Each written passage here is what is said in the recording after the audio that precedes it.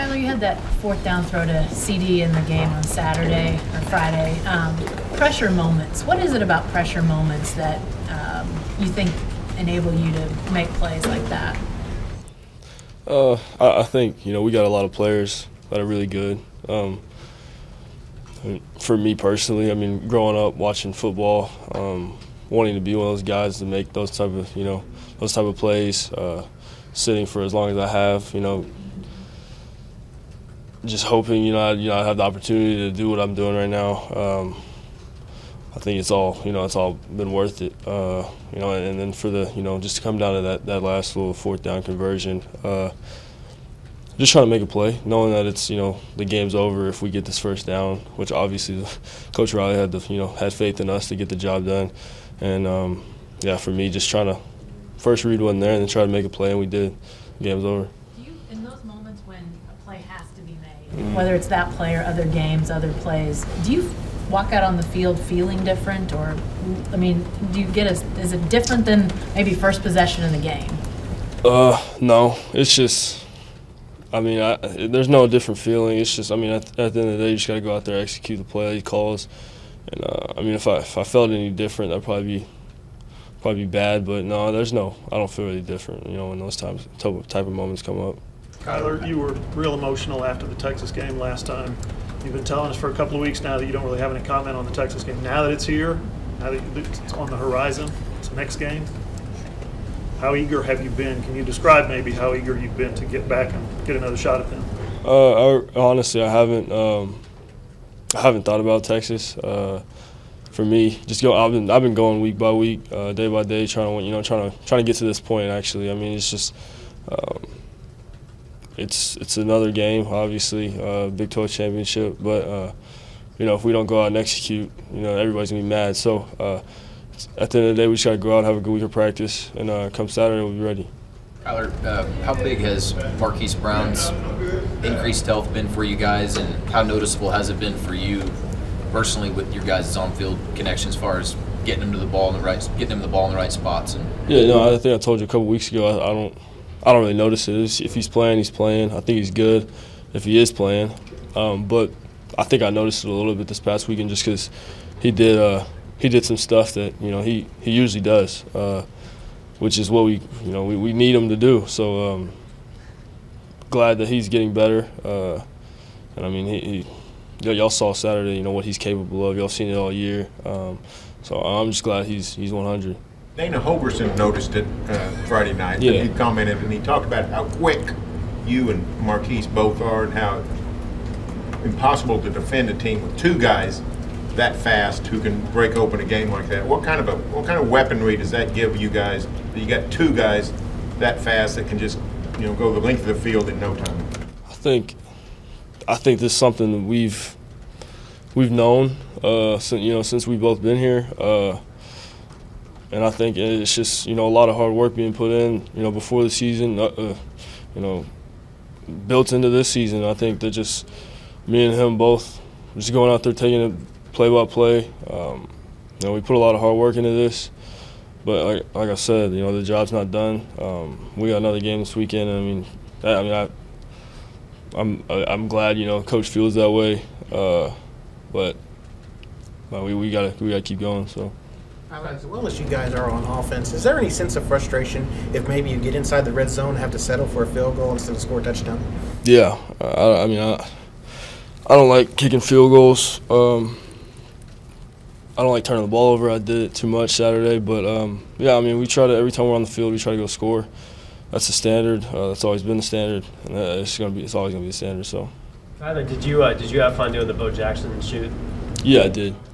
Yeah. Did you uh, did you know about much about Bo? I mean, uh, as a, I mean, I know of you know, at baseball, football athlete, you know, the best athlete to you know ever live. But uh, I mean, I know he went to Auburn, um, stuff like that. But I, have never really gotten to meet him though. So. I know I'm no expert. You're pretty good at this football thing. Um, could you really give it up after these two or three last games and move on with baseball, or do you think that you could you could play in the NFL as well the way this season has gone? Uh, I mean, I, I, feel like I could play in the NFL, but as far as you know, giving it up, uh, as of now, yeah, that's that's the plan. to play baseball Yeah, and, and, yeah. and give up football completely. Yeah.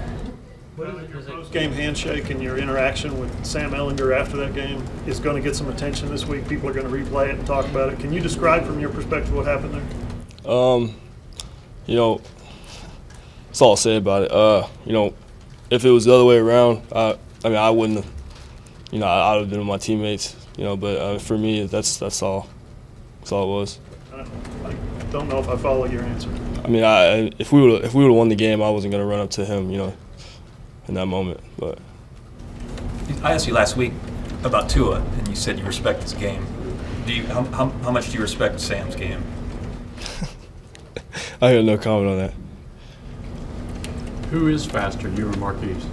Um, I've always I, I think I, can, I I know I can get Marquise in a forty, but after that, uh, I think he's probably got it.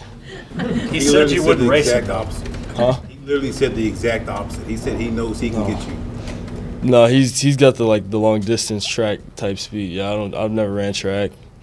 Never wanted to run track. that's uh. I, so I, I think that's how it would go. We saw a long block again by CeeDee the Yeah. other night. Yeah, How important is that to his game, and just how big is that for this team that he can do that? I think it's I think it's taken for granted, and you know around football, just you know receivers blocking downfield. Uh, you know, I, I learned the importance of blocking downfield in high school. For you know, my coaches really emphasized you know receivers being physical, and uh, I mean he he definitely represents you know being physical downfield, and obviously you know we we need that. So One thing in, in that first game is Texas really seemed to kind of challenge you, uh, to challenge you to run the ball, um, and you weren't as established as you are now um, at running back. What I mean, having Kennedy now playing like he is, having Trey healthy and playing like he is, how much is this a better offense than it was the first time around because of that? Definitely. Um, I mean, obviously, you know, it's beginning of the se- or middle of season, so you know you got to work some things out, figure figure yourself out as offense. Um, and right now, I feel like you know we know what we're capable of. I mean, we've known what we're capable of, but it's it's one thing to you know say it and then do it. Uh, right now, I think we're you know kind we're playing pretty good football, so uh, I you know I think they'll have to respect that, and we'll see what happens. Kyle, you obviously were at Jerry World last year for the title game, and you know, but Texas is usually the Cotton Bowl, October, you know, middle of the state fair. Bus is not going to pull up to the Cotton Bowl this time. I mean, is that is that going to be odd at all to play Texas under such di- different circumstances?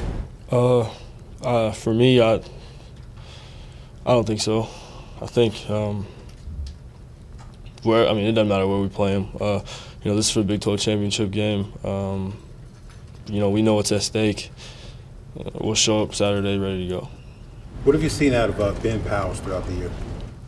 Ben, uh, he's been a leader for the team. um, man, he I mean, he's been playing great. Obviously, I mean, he, he was up for the Outland Trophy. Uh, but yeah, Ben, no, Ben, I, I I really can't say enough. I mean, he's he's been a leader for us. Uh, he works hard, comes in every day, um, does his job, is accountable. Um, couldn't really, you know, ask much more for Ben. Uh, Why the chuckle about Ben? hey, that's just my that's my boy. So, yeah, Is there anything that could change your mind about kind of the decision you have to make? I, I can't. I don't, I got, I don't have any words for you. Let me let me ask you this: um, Are you have you been aware of you know the Heisman conversation, you versus Tua, and and how do you manage you know all that that Heisman talk with with playing your game? Uh, I manage it by just going out there on Saturday and playing. Um, that's that's really how I manage it. Um, I don't vote. Uh, I don't have a say so. So um, all I can do is go out there and play. You, have you got to watch Tua at all? Do you know anything about him? I watched on Saturday. Yeah, I watched Alabama uh, Auburn. What do you think? I think they got really good athletes. Yeah. Is it hard to block out the playoff talk now that we're one week away from that, and there's a lot of discussion about you specifically compared to Ohio State? Um, I feel like you know we do our job, we win, and uh, puts ourselves in a, you know the best possible situation. Uh, and our job is to win this week. If we do that, I feel like we'll be fine. Do you feel that your ability to run with the football separates you perhaps from some of the other uh, Heisman contenders? Uh, yeah.